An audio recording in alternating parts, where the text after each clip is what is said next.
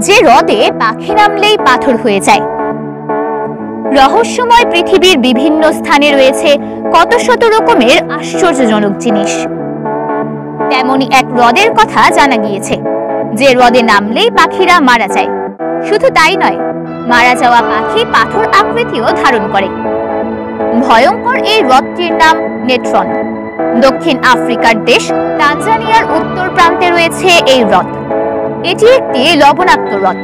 এই হ্রদের আশেপাশে কোনো জনবসতি নেই। দৈর্ঘ্যে সাতান্ন কিলোমিটার এবং প্রস্থে বাইশ কিলোমিটার নেট্রন হ্রদে এওয়াসো নাইগ্রো নদীর পানি এসে পড়ে।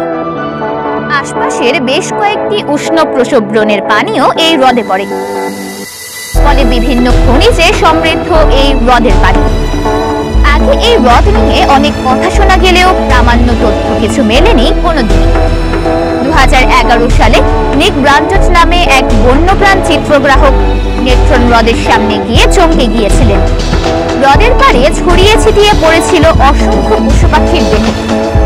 ব্যান্টন জানান, সেগুলো দেখে মনে হচ্ছিল যেন কোনো পাথরের মূর্তি সাজিয়ে রাখা। এর নেপথ্যের রহস্য জানতে শুরু হয় গবেষণা। কীভাবে মৃত্যু হয়েছিল পাখিগুলোর? কেনই বা পাথরে পরিণত হয়েছিল। পরে জানা যায়, এই হ্রদের পানিতে সোডিয়াম কার্বনেট এবং সোডার পরিমাণ অত্যাধিক বেশি।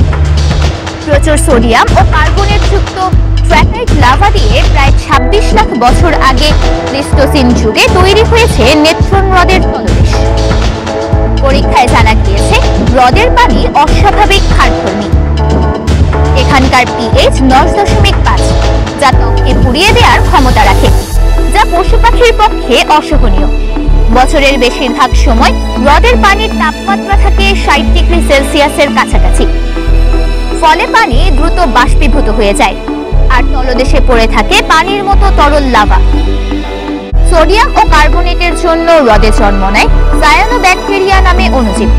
এই অণুজীবের শরীরে লাল রঞ্জক থাকে, ফলে হ্রদের পানি লাল রঙের হয়। বিজ্ঞানীরা বলছেন এই রঙেই আকৃষ্ট হয়ে পশু পাখি হ্রদে নামে।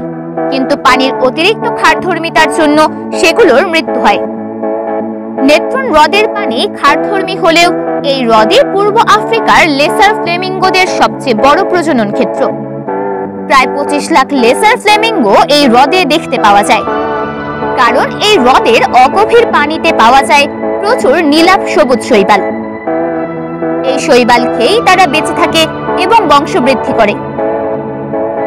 বিজ্ঞানীদের ধারণা, হ্রদের এই খারধর্মীর সঙ্গে নিজেদের খাপ খাইয়ে নিয়েছে এই ফ্লেমিঙ্গোরা। ফলে নেট্রন হ্রদের পানিতে ফ্লেমিঙ্গোদের জমাট দেহ খুঁজে পাওয়া যায়নি।